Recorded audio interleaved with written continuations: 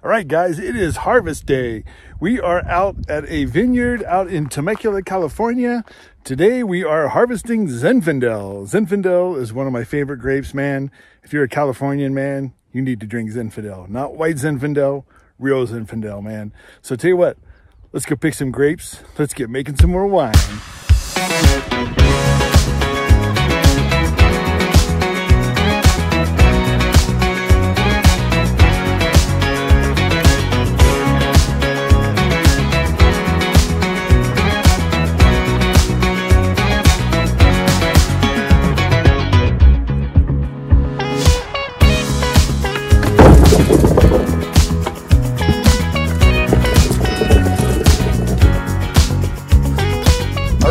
Done picking. Dude, I've got about 200 pounds of Zin picked here. Oh man, dude, these grapes look so good. I mean, look at look at these clusters. Man, these things look awesome. Dude, look at these things. This is, dude, I mean, these things, these things are so juicy. They're like falling off the stem, man. Oh, dude, these things. Zin, baby, Zin. All right, tell you what, let's get home. Let's start crushing some Zin. So the idea is we've got 200 pounds of grapes.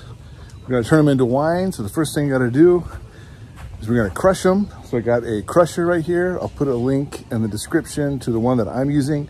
So we're gonna crush the grapes, break them up a little bit, try to get the stems out. Then I'm gonna put them in this uh, food grade container right here. And then we are going to add some yeast and we are going to ferment it, turn the sugars into alcohol, start making some wine. So let's get crushing, man. We got 200 pounds of grapes to crush.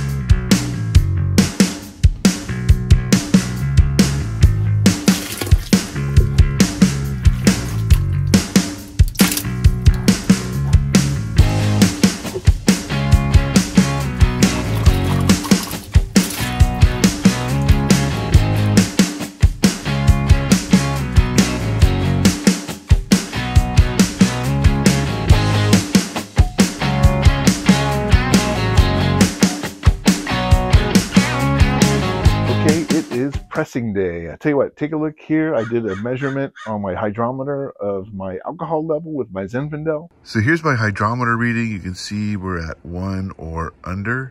Uh, if you haven't used a hydrometer before, basically what this does is it measures the density. So as the sugar is converted to alcohol, the density will decrease and this hydrometer will sink down lower. Um, the thing is, if you look here, you can see it's got all the scales. And really what we're looking for is something about one or under. That suggests that uh, fermentation is complete. So you see, we are ready to press, man. We are ready to press. So I'm going to show you what I what the plan is. So I'll go over here, tell you that um, here's what I use to do my fermentation in. This is a 55 gallon uh, drum. It's food grade quality. Uh, one thing that I do, uh, see if I can get a good picture of it, is I put it on a cart dolly, right? So the idea is I could roll this thing wherever I want. Because if it's got like 30 gallons in it, man, it's pretty heavy. So I uh, basically just roll it around wherever I need it, which means I can roll it next to my press. So I'm going to press here. I'm probably going to um, press into these five gallon buckets, right? So um, I think actually what I'm first going to do is I'm going to take the top layer of the grapes off, throw it in one of these buckets. I'll do that kind of last. Get the liquid, the free run, which is the first part going through, put it in my press, right? So get it all in there, press. Uh, then what I'm going to do is I'm going to put it in um, another container. I'm going to use my secondary container. So uh, let me show you that. So we're going to come over here. My wife's very understanding.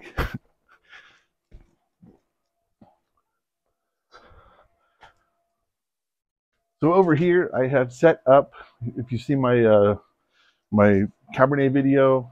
Um, this is a secondary container. This is 100 liters, so it holds 25 gallons basically. So what I'm going to do is I'm going to put it all in here. We're going to let it sit there for a day or two, let the lees settle, drain off the top, and then we're going to do secondary fermentation of that. Then ultimately, we're going to put it in oak barrels.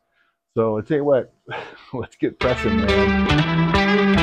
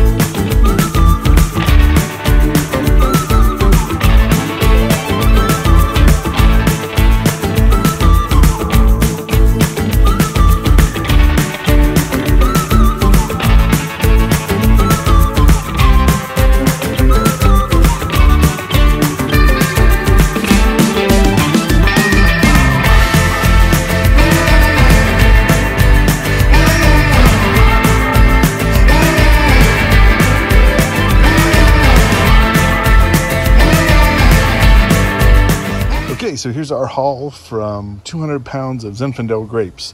Looks like we've got about 14, 13, 14 gallons or so. So now uh, we're going to put this over in our secondary tank, let it settle for a day, and then we'll start secondary fermentation.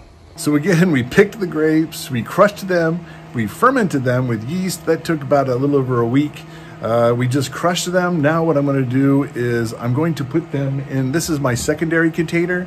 This is, again, this is a 100 liter tank, so it holds about 26 gallons or so. Uh, also has an adjustable top so I can vary the uh, depth. So the idea is you don't want a lot of headspace above your wine. So this is a Marchisio tank. It works out really well. I'll put a link in the description if you're interested in one of these tanks. Uh, works out really well. And it's got a drain plug at the bottom, which actually is really nice. Very, very convenient. Okay, so let's get the wine in the tank. Man, my wife is gonna be pissed if I spill this everywhere.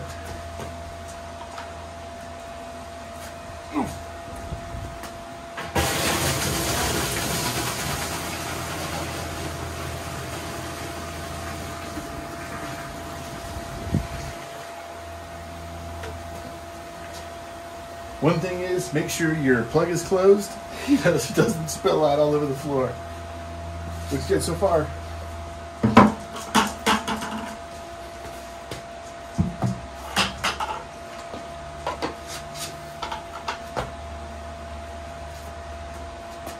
Bucket number two.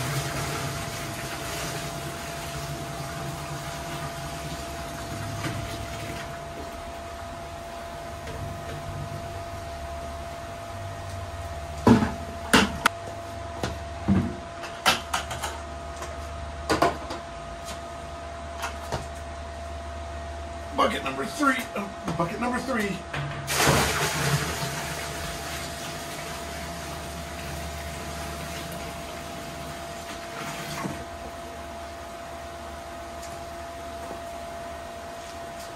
So you can see my tank is over half full. It's about, I don't know, about up to here or so. A little over uh, halfway. So yeah, we got about 15 gallons. It's a about a 25 gallon tank or so. All right, I am not in trouble. I did not spill a drop all over the fancy patio. So again, you can see I've got about, oh, I don't know, 15 gallons or so. And again, it's about a 25 gallon tank. Dude, this tank is awesome. It's a Marchisio. Again, I'll put a link in the description because man, I love this tank. This is a great tank. The cool thing is, um, if you are between like you know if you're doing carboys you're doing five gallon carboys right? What do you do if you get like 12 gallons right or 13 gallons and you have to split into smaller ones? This thing you just kind of lower the top down to the right level and you're good to go. So the next step is what i need to do is since there's still some sediment in there right and that's called the gross lees the gross lees will settle to the bottom uh, then you can see i've got a plug down there. I will um, drain it off the top drain the top off the gross lees then I'll put it back in and we'll do uh, secondary fermentation, malolactic fermentation. Uh, but so the next thing I need to do is I just need to get my top on there and then uh, we'll be good. So what I, I have an adjustable top. The idea is it's got, um, you know, it's whatever, it's got a top and then it's got almost kind of like a inner tube around the side. So you just kind of pump it up until it seals to the bottom. So you bring it down as low as you can and then just seal it. I lowered my um, top down there. It's got kind of an inflatable, you can see it's got an inflatable tube along the end. Um, so then what you do is just kind of layer, lower it down using this string and then just kind of hold it there a little bit. Then you use this pump, right? So it's got a pump. So that pump will pump air into this uh, tube. So it just expands the diameter a little bit, expands it up against the side of the, the fermenter. Okay, next step is we just let it sit for like a day or two. The, the gross lees, which are all the uh, sediment and all that stuff, is gonna flow down to the bottom. Then I'm gonna pull the top off, um, and then we're gonna put it back in, and then we are gonna start malolactic fermentation. All right, we're back. This is a couple mornings later, I think about three days ago or so. Uh, so what we're gonna do is we are gonna drain the uh, wine the wine off the gross lees so that everything the the gunk is settled down to the bottom. So what I'm going to do is I'm going to drain it into a couple of carboys. You can see I've only got two, so that's 10 gallons. We got about 15 gallons in there, but the thing is, I um, I'm actually going to a event in a couple weeks, and someone wanted me to bring some wine. So we're going to see how it goes. We're going to do a little nouveau press, right? So I actually put some in a wood barrel already. So I'm to let you know how that one is. Uh, should be okay. Uh, not going to be as great as it's done, but some of my friends caught wind that I did a fresh press and they wanted me to bring some wine. So we're going to uh, do the oak barrel. I'll, I'll, fill in. I'll let you know how it is. Um, so yeah, so what we're going to do is we're going to drain off the gross lees. We're going to put the wine back in after we clean the gunk out of the bottom of the tank. And then what we're going to do is malolactic fermentation. So if you're not familiar with malolactic fermentation, malolactic fermentation will convert malolactic acid to lactic acid. So sort of that tart taste. We're going to get rid of that. It's going to be a more smoothing lactic acid taste. So it's going to be a little bit better wine. So, all right, man, let's get going. This is, again, this is my Marchisio tank. The nice thing is it's got a drain plug at the bottom. So I'm just going to drain it into some water bottles, wash it out, put it back in.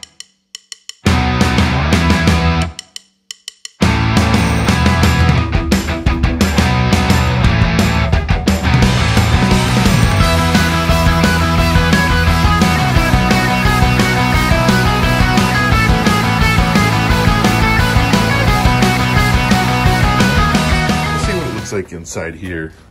So here you can see uh, you got the sludge at the bottom, right? And that's all like the uh, the grape skins and seeds and stuff that kind of made it through the press.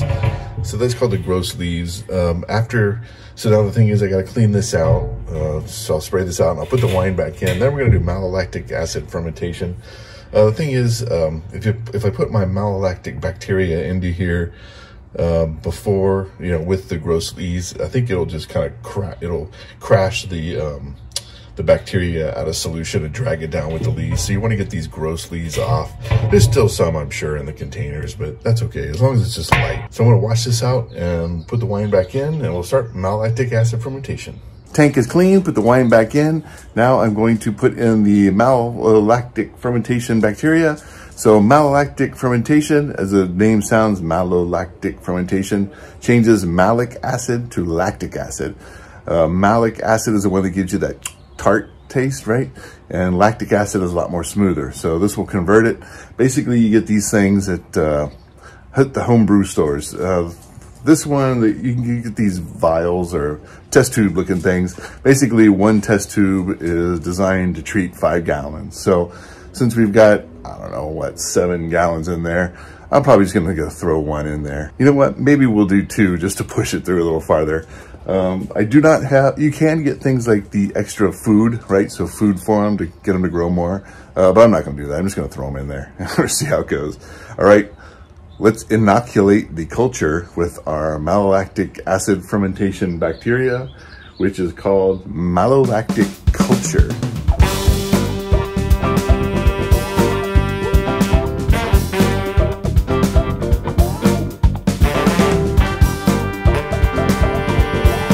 There we go. We got the bacteria in there. We got the top back on.